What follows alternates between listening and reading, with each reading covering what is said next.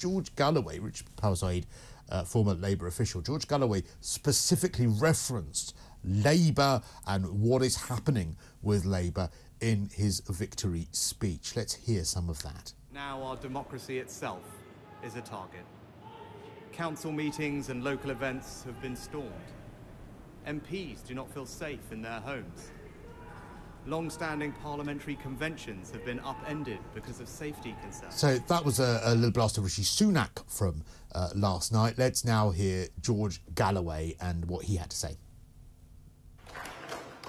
Keir Starmer, this is for Gaza.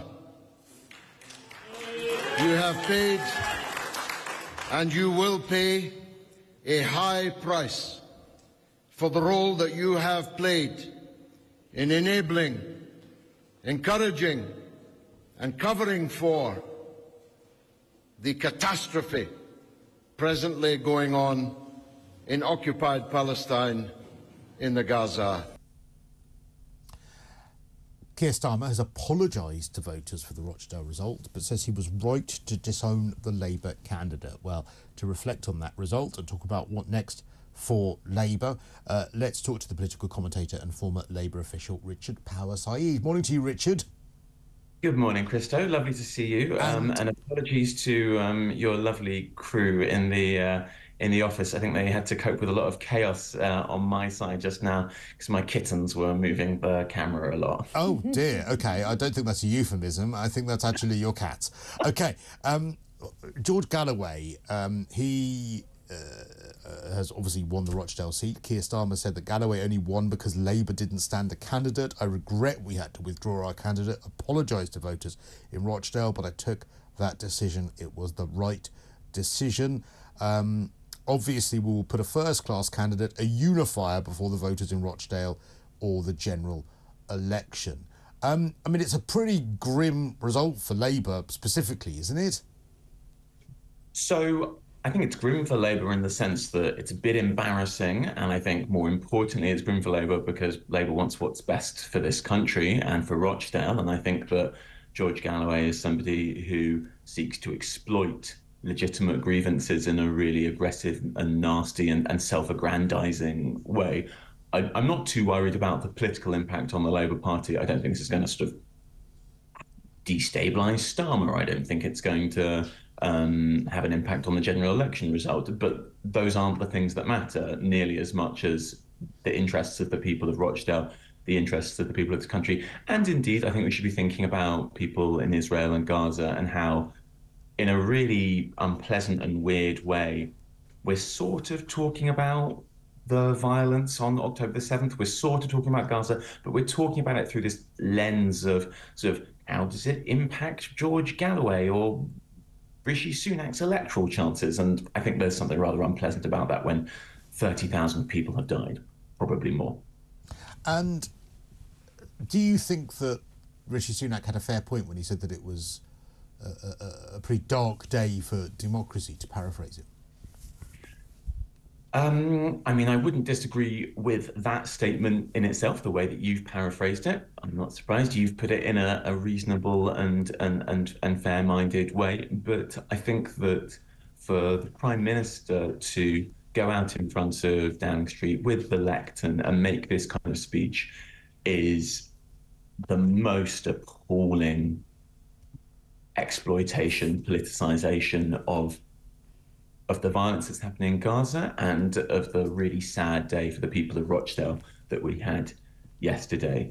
Uh, you know, the Conservative Party have explicitly, you know, in their strategy documents, in their WhatsApp groups, they've explicitly said to each other, we need to be using culture wars issues, issues that divide our country, issues that divide our communities in order to stay in power. And then, so the idea that they can then start criticizing other people for dividing the country is is just, I mean, it's so obviously hypocritical. But they but have. Not... I'm gonna, I'll just finish. I'll just finish. They have explicitly, in their own conversations with each other, talked about. Um, the introduction of voter ID, which makes it more difficult, for, very difficult for, say, people who aren't pensioners but don't have a passport um, to to vote, um, they very explicitly talk to each other about how that's a way to maintain their own vote share because they know that people who are more likely to vote Labour are less likely to have those kinds of documents, and they've even they've even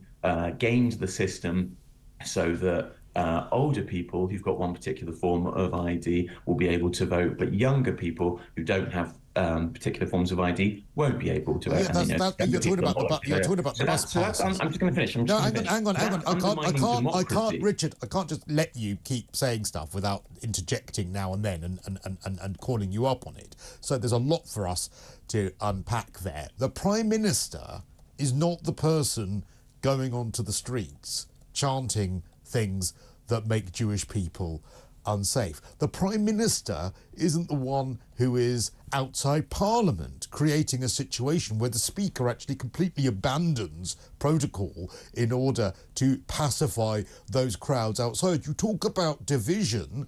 Well, I would argue that what the Prime Minister was discussing last night was reactive to the division that already exists. He didn't create that, he's reacting to that. Well, uh, Cristo, if you'd asked me about the protests outside of Parliament and and and uh, uh, and the threats to MPs and things like that, I would have happily spoken about those. But you asked me about the Prime Minister's speech, and what I'm saying is, and I will get onto those protests because I'm hearing that you want me to talk about them. But Well, that, that was I'm what the Prime Minister was referencing. Surely that's why. If the Prime Minister is trying to make a huge political event out of this theme of undermining democracy and division, then he first needs to get his own house in order. And when the Conservative Party have very explicitly and purposefully trying to sow the seeds of division for their own electoral gain, when they have very purposefully and explicitly tried to undermine democracy for their own political gain with voter ID by trying to stop younger people, people who are more likely to vote Labour, from voting, then the idea that the Prime Minister then goes on uh, on camera and starts complaining about other people doing this, when those other people are definitely having a negative impact, I would say, on our society, but are so much weaker, have so much less power in our society than the Conservative Party has had for the last 13 years. It's just, it's so obviously hypocritical. And more importantly, more importantly for how we judge Rishi Sunak and the Conservatives, it is so obviously trying to exploit a febrile and divided political situation for their own electoral gain. And it shows you what utterly depraved people are currently in charge of the country. Okay, just to let you know, though, just to go back to your voter ID point, because I do just want to pick you up on one of them. Um, you mentioned that that older voters can use ID that younger voters can't, and I think what you're referring to is that the, Not the, quite what I said, but okay. but the uh, but but well, okay, explain what you said, because I presume that you were talking about the bus pass thing. So uh, I, I, what I meant to say, and I think I phrased it correctly, was that um, older voters will have particular forms of ID, and younger people are not going to have those forms of ID, and that and older people are allowed to use them. Younger people, it's impossible. So what would be the example of that then, if I'm not getting that right? No, so I think the bus pass is one of them, right? Yeah, but you know that for an older person's bus pass, you need to produce an actual passport in order to get that, whereas the younger person's one you don't. So that's why there's a difference But it's between. about having the but it's about having a passport. Why don't those people And- apply for free voter ID then? You can actually get free ID by voting by by applying online. Why why don't people who don't have that ID just just do that? How is that undermining democracy if you're giving people an So option to get free ID? that- So, so the question that you're asking there is several steps along the, the chain, right? We know that there are lots of people in this country for whom their lives are a bit chaotic. Maybe they're finding things difficult right now. Maybe they've just got lots of, you know, they've got a few kids and they've got two different jobs. So, like, they're super busy and they're not going to get round to it. We know that's a very normal way to live. I take, you know, my time to answer letters from the council or whatever, and I have a fairly kind of stable and easy life, quite frankly. So it's not at all surprising that loads of people in this country, come election day, are not going to have ID. The Conservative Party knows that. The Conservative Party has done its research and knows that that's how it works.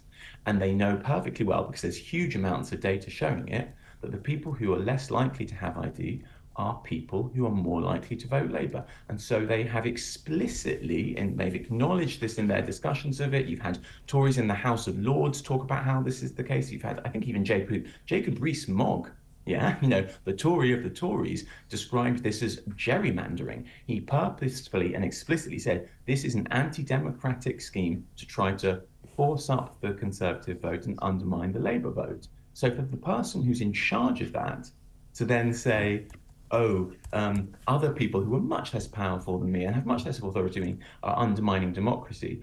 I mean, he's right, those people are undermining democracy, but he's doing it so much worse. And it's so clearly him trying to exploit a divided and febrile country for his own political gain when he goes up there and talks uh, about okay. it. Okay, just so you know, I've just applied for a voter ID pass whilst you were giving that answer. That's how long it took me. Doesn't matter, does it, Cristo? The it does. Is, it, it, took me literally 90 know, seconds online. You're, you're making, uh, uh, I think, clearly um, sort of like secondary point right? Everyone knows, everyone listening to this knows perfectly well that most people are not going to end up doing that. And that means loads of people won't have voter ID. It's not about whether they could, it's not about whether they should, it's not about how easy it is, it's about whether they'll do it or not. The Tories know they won't. That's how they'll try to gerrymander the oh, system. All right, Renee, okay. Renee wants to jump in. Mm, morning, Richard. How are you? Hey, it's nice to see you, Renee. And you. Um, there are so many points that I would like to come back on, but I'll just pick a couple. You've just said to Cristo that he's making a secondary point. You have just done that because we wanted to talk about Rishi Sunak and whether or not there really is a problem in this country that's undermining democracy, and you've deflected it to Rishi and voter ID. Wasn't the question I, got no, I'm, I'm just going to finish so to voter ID, I could deflect as well and say, well, hang on a minute. If we're talking about parties being cynical and and perverting the course of normal democracy to their own game. That's exactly what Labour did 10 days ago in the Houses of Parliament when they put pressure on the Speaker to override normal process because it didn't suit them to have the vote that the SNP wanted them to do. You know, this is going on all of the time in the Houses of Parliament. It's not just the Tories, it's both of them. And that's why people are losing their faith.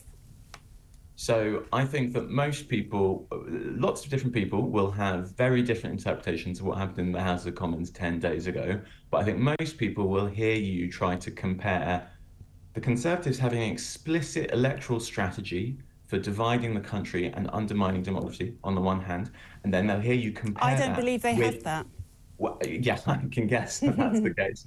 Um, and then they'll hear you compare that with uh, the Labour Party changing the wording of, an, of a motion in Parliament so that it mentions the October the 7th hostages and says that we condemn that. That is not what they did, Richard. They, they changed the wording well, they, of a motion so that Keir Starmer did not see half of his party resigning again. And you know that. So, but, the, but the again, issue... but well, you're making my point for me, Renee, aren't you? People will hear, hear you compare what Keir Starmer did versus what Rishi Sunak's doing, and they'll say, like, any criticism you can make of Keir Starmer and the Labour Party doesn't even compare to those criticisms of Sunak. So it's it's, it's like okay. it's not comparing apples with oranges. It's comparing sure. apples with an orange factory. But what we've just done in this 15-minute segment is we've actually just moved the debate away from what's going on our streets every day that are making that is making people in this country feel scared and feel that democracy is not working for them anymore. Well, you asked me about Sunak's speech, and I told you how exploitative and hypocritical it was. And I'm really happy to talk about what's happening on our streets as well, if you want to ask me about that. Well, I, I, I, I think I did remember about when I asked you about the division, and I said that it wasn't Rishi Sunak that's going out. And, and then you asked me to speak, so I didn't have time to talk about that. But I'm really happy to if you want to ask well, me. Well, we're out of time now, but we'll get you on to talk about that again.